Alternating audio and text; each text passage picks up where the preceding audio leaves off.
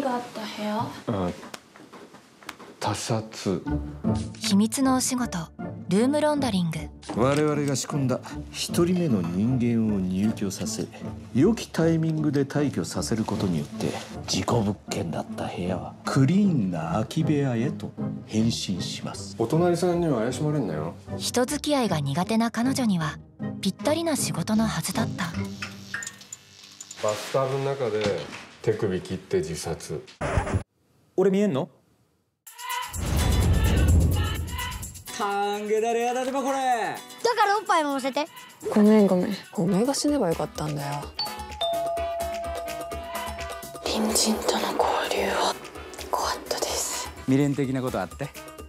あのテープをレコード会社に送ってほしいんだよね。女とチューとかしたかったな。タバコ買ってきてくんない？あのミコ？ミカミコ。あなたたちに迷惑かけました？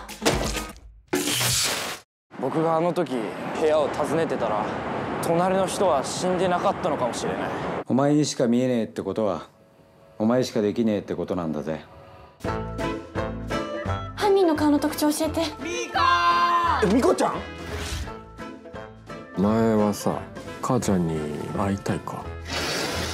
訳あり物件も自分自身もクリーンにしちゃう？私。